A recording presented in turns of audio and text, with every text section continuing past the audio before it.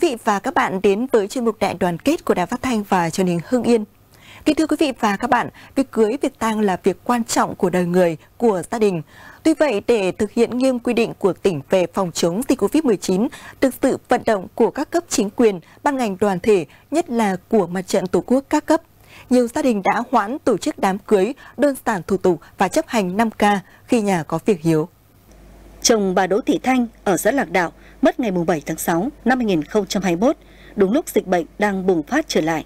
Để phòng chống dịch tốt cho gia đình và cho cộng đồng, gia đình bà đã tổ chức tang lễ đơn giản và chấp hành nghiêm khuyến cáo 5K của Bộ Y tế, thực hiện các biện pháp phòng chống dịch an toàn.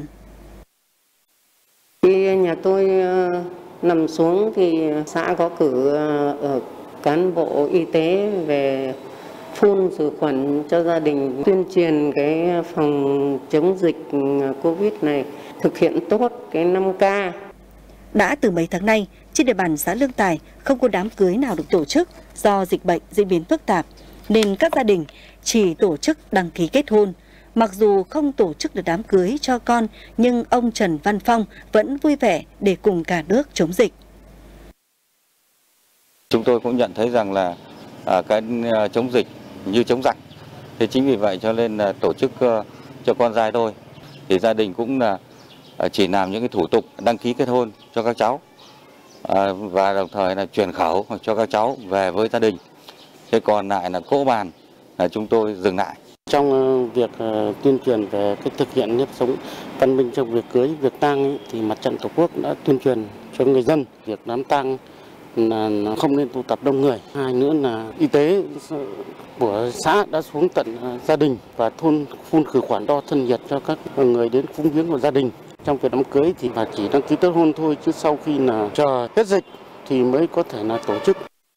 Việc thực hiện nếp sống văn minh trong việc cưới việc tang kết hợp với tuân thủ đầy đủ yêu cầu về phòng chống dịch được người dân trên địa bàn huyện Văn Lâm hưởng ứng mạnh mẽ.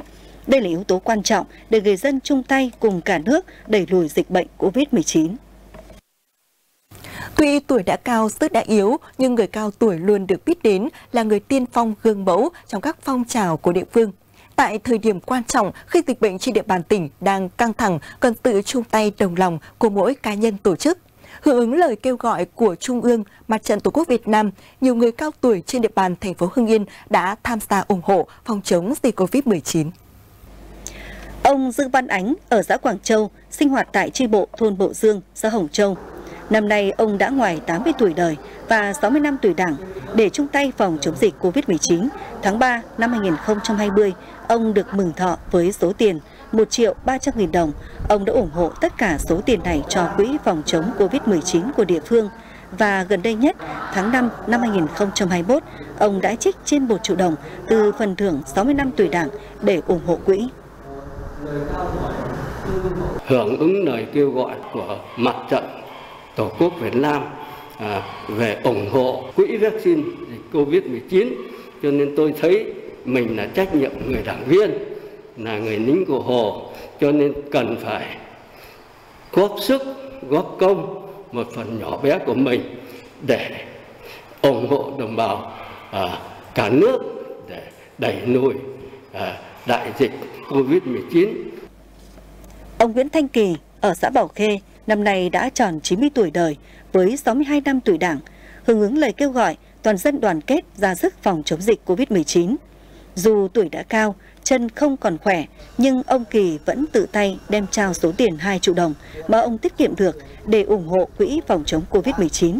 Việc làm của ông không chỉ góp thêm sức mạnh cho công tác phòng chống dịch mà còn góp phần giáo dục con cháu. Tôi cũng tham gia của ít lòng nhiều, có một à, tí chút để ủng hộ. Chúng tôi cũng vận động con cháu sẽ phải tập trung à, để tham gia, thế rồi thì à, chấp hành mọi chủ trương chính sách của Đảng, Nhà nước, nhất là trong cái chiến dịch chống Covid này. Trên địa bàn thành phố Hưng Yên xuất hiện không ít tấm gương đẹp, những việc làm có nghĩa như ông Ánh ông Kỳ, những người tuổi đã cao, sức đã yếu, bằng những đồng tiền tích lũy của tuổi già, các ông đã chia sẻ cùng chung tay góp sức để mong nước nhà sớm chiến thắng dịch bệnh. Quý vị và các bạn vừa theo dõi chuyên mục Đại đoàn kết của Đài Phát thanh và Truyền hình Hưng Yên. Cảm ơn quý vị và các bạn đã dành thời gian theo dõi.